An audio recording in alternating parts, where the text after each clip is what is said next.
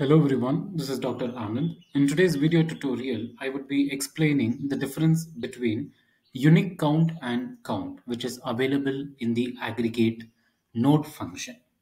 So let me take you to my KNIME platform. So first and foremost, I have to use my file reader and I have to drop it into my workspace. Now let me right click, let me configure, let me browse for my file. I'm going to the place where my files are there. I already have a collected data which is pertaining to customer credit card information. I will explain what are all the different components which are available with this particular data sheet. I'm clicking apply, I'm clicking OK. The file is ready to be executed. I'm executing it. It is executed. I'm going to the file table. So you can see that these are all the different items which are available in this data sheet. So we have customer age, then we have gender, we have dependents, which are nothing but the family members who are dependent on the consumers. We have educational qualification, we have marital status, we also have income category, and we also have card category. So apparently the card category has been bifurcated into three, blue, gold, and silver. So likewise, we have uh, different other classifications for different elements.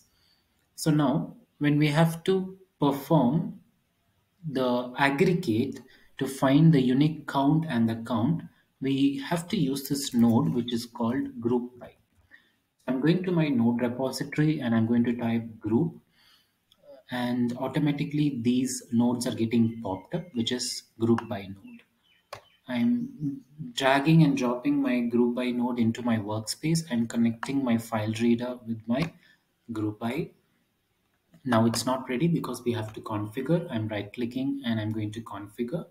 You have to go to this manual aggregation. If you go to manual aggregation on your left hand side, you can see all the different column items which are available.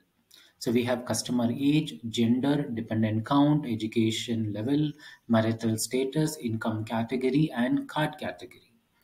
So for example, now I'm going to take income category or I'm, I can take even customer age. Let me take customer age.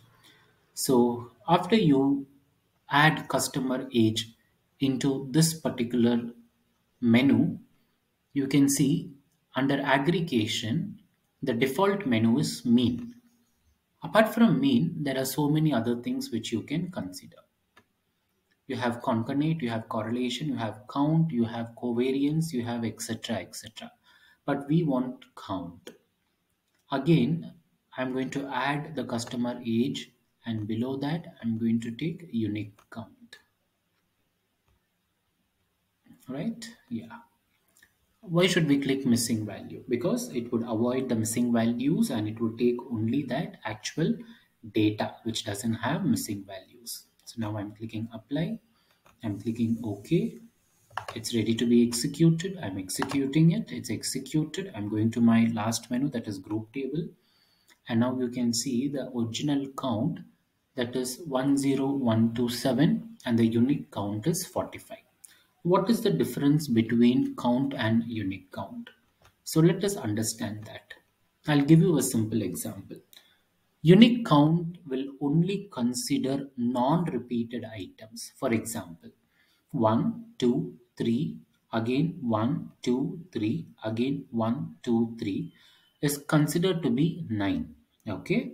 But in case of unique count all the repeated ones would be clustered together. So 1 2 3 will become 1 again 1 2 3 will again become 1 and the remaining 1 2 3 will again become 1 so 1 plus 1 plus 1 is equal to 3 so this is the difference between count and unique count.